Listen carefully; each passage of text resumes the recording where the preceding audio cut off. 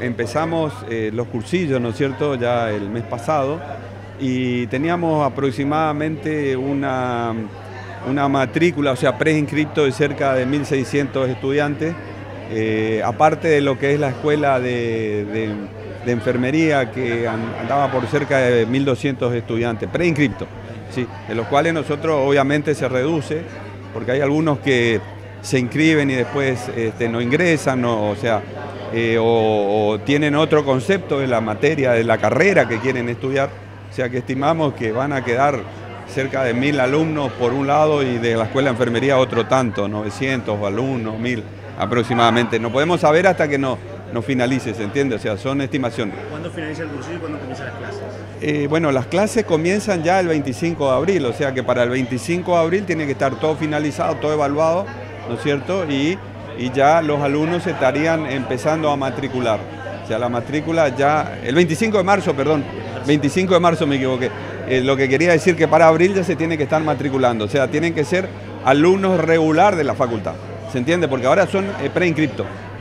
Una vez que aprueban el cursillo, ¿sí? entonces ya se, se matriculan y son alumnos regular. En un año difícil con respecto a la cuestión de crisis, sabemos que también el presupuesto se ve afectado. ¿Cómo van a encarar esta cuestión? El, presupuesto se, vio afectado, ustedes saben, ¿no? esto es conocimiento público, una inflación importante el año pasado, un 47, 48%, y nosotros tuvimos un incremento del presupuesto eh, del 23,31%. O sea que eso significa que hay este, un desfasaje de cerca de un 24-25% por debajo para mantener los niveles de inflación. Esto nos va a obligar a hacer un, gasto racional, una de las inversiones que tengamos. Yo le comentaba que nosotros tenemos, aparte de, lo que es la educación y la investigación y la extensión universitaria, el otro objetivo de la universidad es la acción social. Esa acción social se refleja en, dar becas de estudiantes, por ejemplo, beca de comedor, ¿sí? que los estudiantes puedan comer, en de, tener su almuerzo y la cena, de lunes a viernes y los sábados hasta el mediodía. Este, también se reflejan en becas de salud, becas de albergues, este, becas de estudio, a veces ayuda económica, si tienen algún problema también hay ayuda económica. Y eso por ahí se vería, eh, se puede ver afectado, o sea, obviamente que trataremos de que eso no ocurra, vamos a tomar todos los recaudos, pero este, obviamente que vamos a tener que recostar eh, los gastos de, funcionamiento, o sea, de las inversiones, reparación, material para los trabajos prácticos, ¿se entiende? ¿Se podría haber afectado el tema de las becas?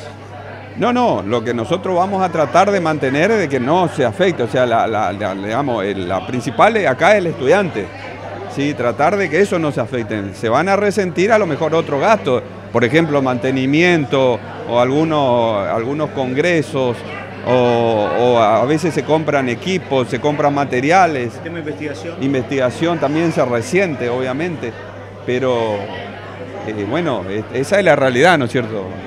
Que, escapa ya a mi alcance, ¿no?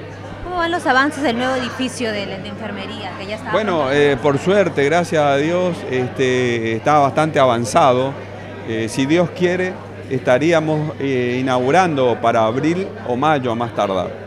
O sea, estaría terminado ese edificio. Sí, ese edificio lleva varios años en construcción, se paró en un momento eh, de López Torres, la que sería la escuela de enfermería. O sea, la escuela de enfermería es una escuela que tiene muchísimos alumnos, muchos estudiantes. O sea, es un número muy alto. Sí, para tener idea, más o menos la matrícula de los estudiantes de escuela de enfermería equivale a la mitad de todo el resto. ¿Se entiende?